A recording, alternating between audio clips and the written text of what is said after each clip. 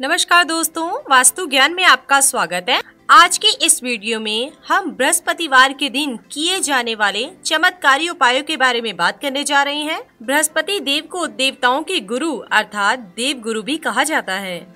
वैदिक गुरु में बृहस्पति देव को धर्म गुरु, आध्यात्मिकता, ज्ञान, न्याय, उदारता, स्वतंत्रता, संतान, भाग्य, ज्योतिष समृद्धि और सफलता के कारक माने जाते हैं। बृहस्पति देव को प्रसन्न करने के लिए बृहस्पतिवार का दिन श्रेष्ठ होता है।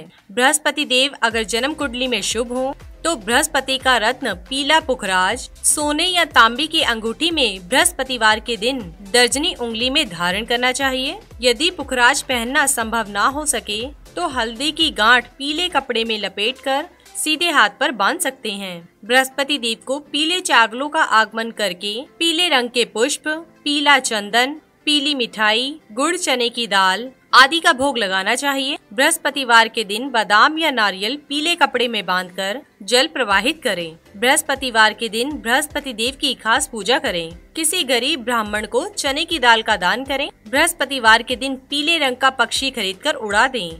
सोने का छल्ला या कड़ा दाहिने हाथ में धारण करें। बृहस्पतिवार के दिन यात्रा प्रारंभ करने से पहले गुड़ या पीली शक्कर का सेवन करें। किसी नदी या नहर में तांबे का सिक्का डालें।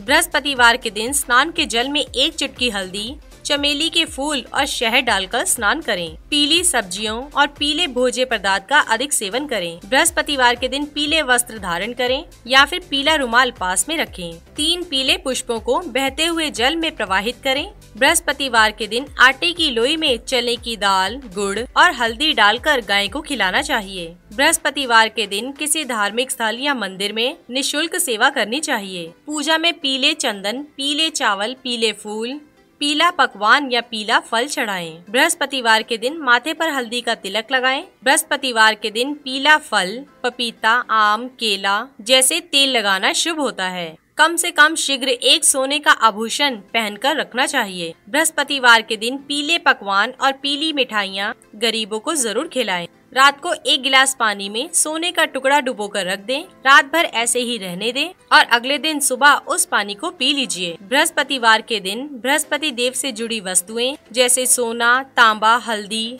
चने की दाल, पीले चावल, शहद, पीले फल, गाय का घी, पीली मिठाई, पीले वस्त्र, पीले फूल पीला अन्न, धार्मिक पुस्तकें, हल्दी की गांठें आदि का दान करना भी लाभदायक सिद्ध होता है। इसी के साथ ही दोस्तों, अगर आपको ये वीडियो पसंद आया हो तो इसे आप लाइक कीजिए, अपने दोस्तों रिश्तेदारों के साथ शेयर कीजिए और सब्सक्राइब कीजिए। साथ ही साथ बेल आइकन को प्रेस करें ताकि नया नोटिफिकेशन आप तक सबसे पहले पहुँच सके। धन्यवाद दोस्तों।